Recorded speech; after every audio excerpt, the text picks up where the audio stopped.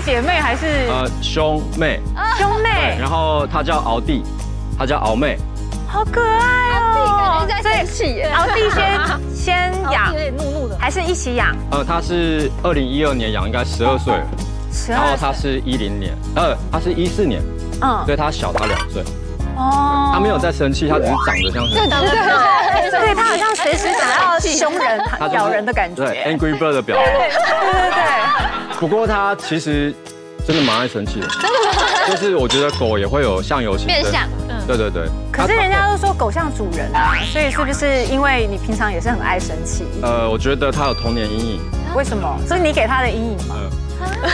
因为它我养它的时候，那时候我们还在棒棒糖那个团体嘛，嗯然后比较忙，所以它在幼犬的时候，其实常常被我就是放在家里，因为没办法，我就必须要去上班嘛，嗯所以我觉得他有分离分离分离焦虑分离症。焦虑症这样。嗯，就是因为这样子，所以才养了另另外一只狗陪他，你好，对不对你？好聪明，因为我觉得他太可怜了。然后他就是，呃，我觉得是老天派他来陪他的天使，他个性就很好，这样。那他有喜欢吗？因为有一些狗就觉得说，我不要，我就是要独得宠主人的爱啊。嗯，不得不说，他他脾气虽然不好，可是他很让他，他他没有对他凶过。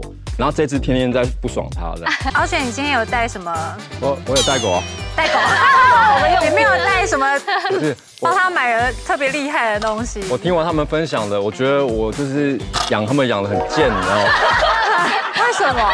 我就是直男养法，就是阿妈养养养，阿妈而且有吃饱，有喝足了，这样就好。吃饱喝足有有有在呼吸就好。其实我试过，就是买贵一点的东西，我发现他们好像不是那一派的，哦对，然后就觉得哎、他们好像蛮懂事，会帮我省钱。对，帮你省钱是你自己的想法。就你刚刚看那个高级衣服之，类的，衣服以前有买，嗯然后后来觉得他好像比较喜欢夜市买那种杂稿哎，比较舒服。阿告哎，对，然后甚至不想穿衣服，然后我觉得他们现在花的比较多是奥蒂的医药费，嗯他每个月将近就是要万把块这样。为什么？因为他已经十二岁了，然后前几年他就是突然心脏病了嘛，嗯然后现在就是完全要靠药物去维持。嗯对，他前一阵子就是垮掉，嗯突然间就垮掉了。他他是精力旺盛的小狗，突然间就不行了。嗯然后呃那那一次我还蛮煎熬的，就是我在内地录一个节目，然后他就正在住院，嗯然后每天我都是我要知道他的状态，都是要从医师的那个语音嗯跟我交代这样。然后其实我就一直觉得很心很悬呐、我怕就是见不到最后一面那种感觉。